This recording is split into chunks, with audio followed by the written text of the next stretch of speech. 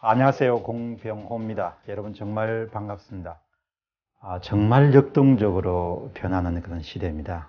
이런 시대에서 아, 우리가 미래를 어떻게 준비해야 될 것인가 아마 이런 과제를 두고 아, 고민하지 않는 사람은 아마 없을 것입니다. 시계 오늘처럼 이렇게 세계화돼가는 세상, 어, 국가 간의 날로 연결망이 높아지는 시대를 보고 정말 암울하다 이렇게 보시는 분도 아마 계시고 또 다른 부분들을 좀 밝은 면을 보시는 분들도 세상에는 많이 있다고 이렇게 생각합니다. 저는 어, 향후 10년 정도의 세상을 어, 대단히 역동적이고 흥미진진한 시대가 될 수 있지 않겠느냐 그렇게 봅니다. 그것은 국제 간에 어, 교육이 점점 더 분화되고 또 전문화의 이점을 이용해서 많은 사람들이 기회를 만들어가는 그런 시대가 되지 않을까 그런 생각을 해보게 됩니다.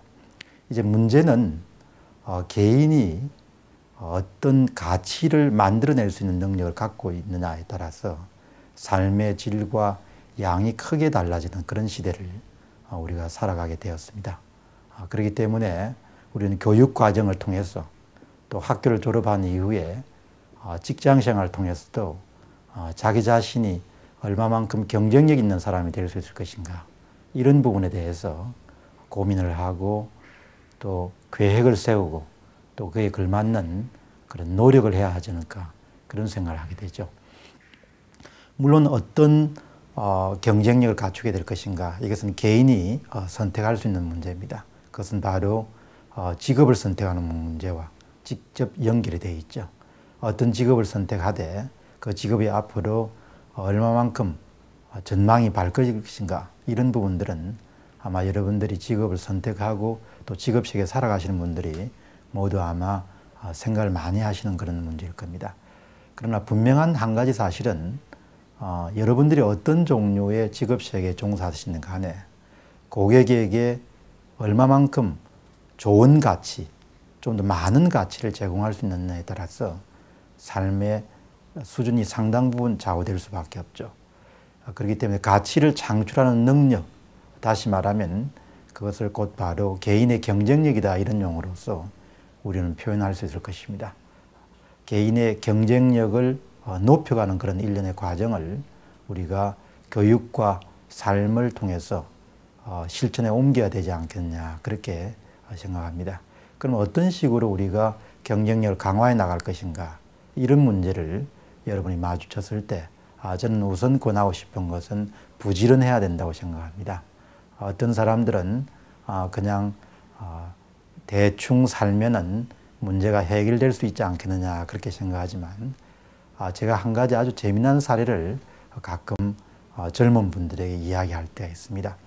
그것은 1990년 어, 베를린 장벽의 붕괴라는 상징적 사건을 통해서 어, 인류사에서의 사회주의와 공산주의라는 부분들이 막을 내릴 때 그 당시에 세계 시장에서는 약 30억 정도 인구가 활동하고 있었습니다.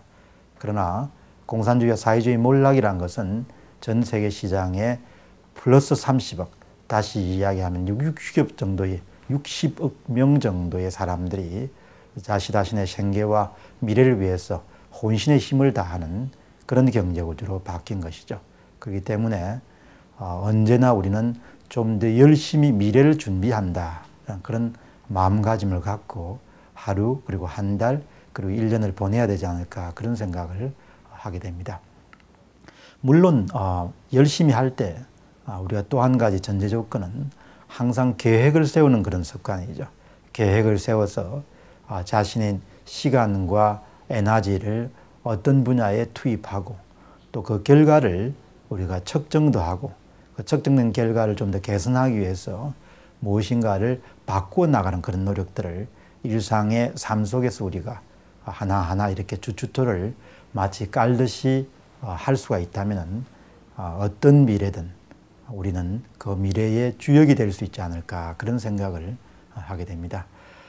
어쨌든 흥미진지하고 역동적인 시대를 얼마만큼 활용할 수 있느냐 이런 부분들은 결국 개인의 몫이라고 그렇게 생각합니다. 나라라든지 아니면 기업이 도와줄 수 있는 그 부분은 너무나 한정적이고 제한되어 있기 때문에 우리 모두가 분발해야 되는 그런 부분들이 참 많은 시대라고 봅니다. 여러분 모두의 어, 그런 건성하심을 간절히 기원드리겠습니다. 감사합니다.